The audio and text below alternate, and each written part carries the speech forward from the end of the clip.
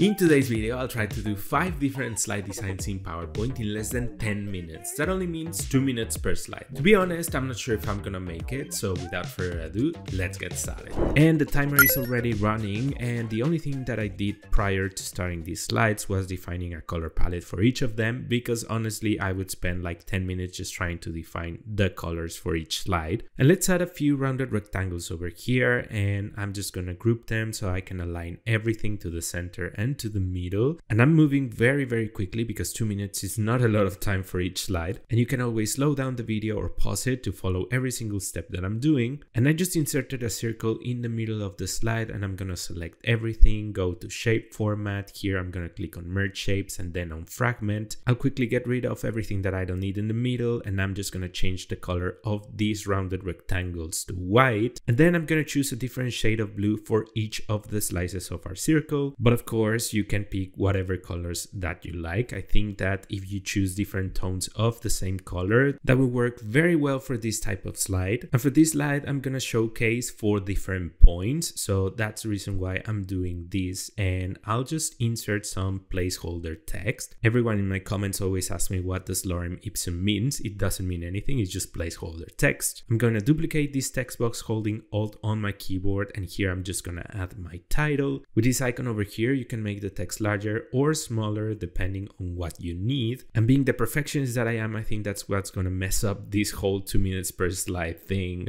But once I have one exactly how I want it, it's going to be very easy to duplicate it to the rest of the rectangles. And I changed the font to Archivo. I think it works very, very well. And just as I said, it's going to be very easy to duplicate the text box to the next rectangles. I also want to say that this is real time. I'm not speeding up this video.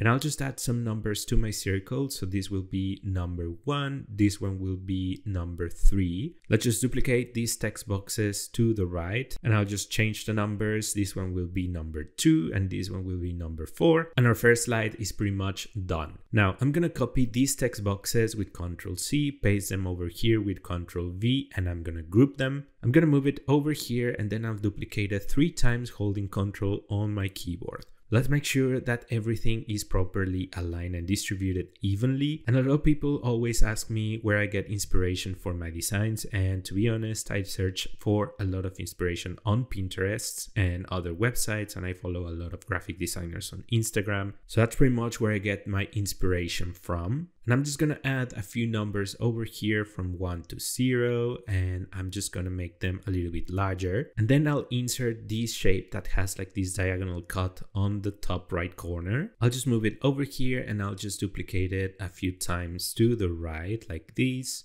And this four shape, we actually don't need it. I'm just measuring that everything is evenly distributed. And I know it looks a little bit weird now, but you'll see in a minute how cool this layout looks. So I'll just move these shapes behind the text like this. And I have less than seven minutes left and three more slides to go, so I better hurry up. And the only thing that I need to do is to start changing the color. So for this one, I'll pick a dark orange like this one. Then for the second one, I'm gonna choose choose the light orange and I think this is the most annoying part having to choose like the eyedropper tool and then picking the color. For the third one I'm gonna choose this dark purple and for the background I'm just gonna change it to a light purple like this. And I'm gonna change the colors of the text boxes. So this one will be the dark purple that we used before. This one will be the dark orange as well. I think it's gonna look very good and for these ones I'm just gonna make them white and that will give us a lot of contrast. Also I'm so sorry for my voice but I'm a little bit sick but I still wanted to do this video for you. And in this space over here at the top here's where we can add our title and I think we're pretty much done with this slide because I need to move on to the next one because we have less than 6 minutes left on the timer. Now this video is about 2 minute slides in PowerPoint but do you know you can create a whole slide deck in less than 2 minutes as well?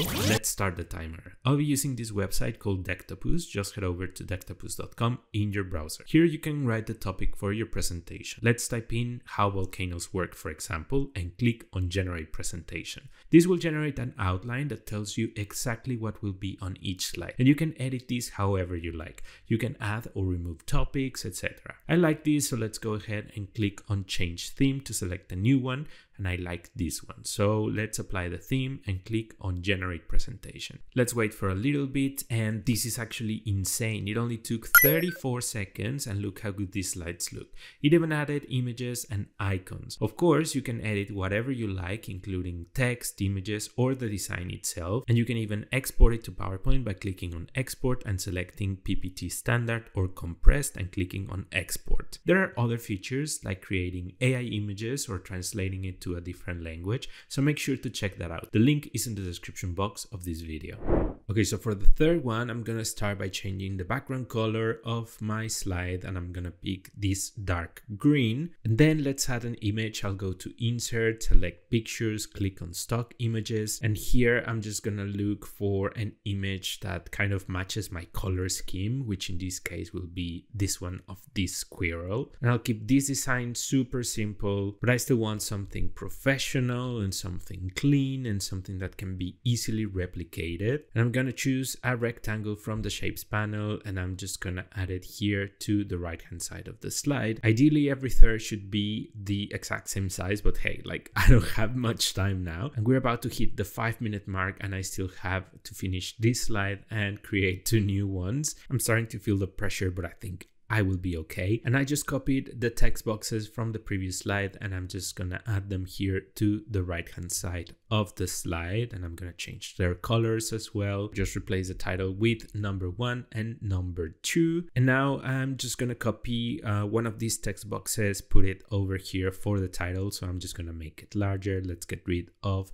these text that we don't need. And I'm just gonna change the color of the title for these like acid yellow color that looks very very cool. I think it's going to stand out against the background. And we need more contrast for this one so i'm just going to make the text darker like this. The only thing that's missing is to add a small detail over here which will be an arrow and i'm going to change the color as well and we're pretty much done with the third slide. We still got two more slides to go and four minutes left on the timer. I think we can make it, guys. And I'll start by inserting an image. I think I want to do this um, like a corporate business slide or something like that. So I'll just look for meeting office in the stock image library. And I think this one will work. So I'll just insert it to the slide and I think I'm gonna flip it. So go to rotate and click on flip horizontal. I'll just put it right here on the left hand side of the slide. By clicking on crop, you can change the cropping of the image. Let's quickly change change the color of the background. So right click format background and I'll choose this dark purple that I have over here. Let's insert a rounded rectangle and I'm just gonna add it here. I'm gonna make space for three points. I'm just gonna make sure that they're evenly spaced with each other. So I'll just go to align and click on distribute vertically.